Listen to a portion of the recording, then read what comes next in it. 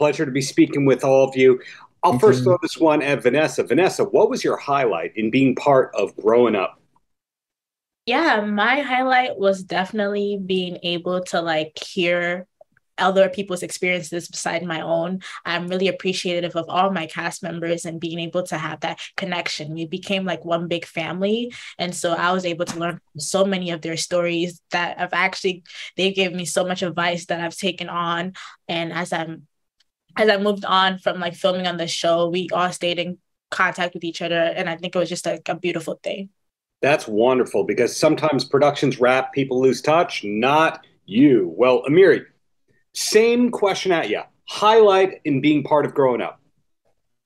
I have to agree with Vanessa. I think being able to meet everyone, it, I think that sharing the story was such a highlight, but friendships that I've built with my castmates have been so amazing. I mean, we talk in our group chat on text every single day. We're talking and we're texting since the production. And it's just been so amazing to know that we've all shared our stories together and that we have each other and that no matter what happens, we'll be able to see how everyone benefits from this show and what they think together and as a community and as a group. And that's been such a big highlight for me having everyone there.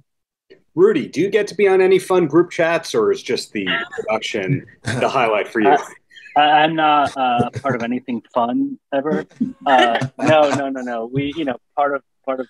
I'm not in any group chats. You know, we were the the heroes were all able to get together and sort of do their own thing on a shoot day. We didn't really get to do, especially because we were shooting during a pandemic. We weren't able to be on other people's sets. So I would have loved to have, you know, been a fly on the wall on some of these other days or when when they were shooting the other stories. But we unfortunately weren't weren't allowed to to do that or weren't able to do that.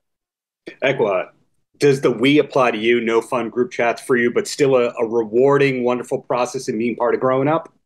Yeah, no group chats, but definitely been in touch with Vanessa. And, you know, we've been able to meet up outside of the production and just sort of keep up with each other's lives and sort of, you know, the continuation, I suppose, of the story. Um, and I know some of the, I mean, these two wonderful directors um, outside of, but be, I mean, COVID shooting during the pandemic definitely changed the nature of, I think, what the company would have loved us to be able to have at that time. Mm-hmm. Mm-hmm. Elegance, not last, uh, well, last but definitely not least here. I'm going to throw those questions at you.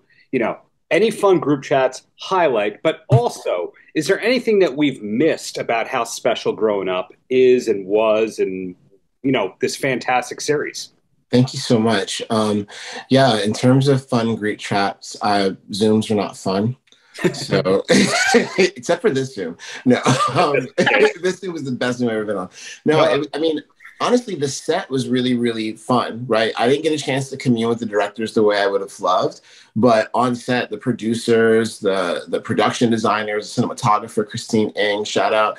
It was just really, really fun, and we've. I'm still collaborating with some of the people on this show who are behind the scenes. They're still my friends the connection I have with Amiri is really, really special. I feel like I don't know. I'm just like Amiri's biggest fan. So pretty much, I I'm like the old person on social media, like you know, puts prayer hands up whenever Amiri does something for boarding.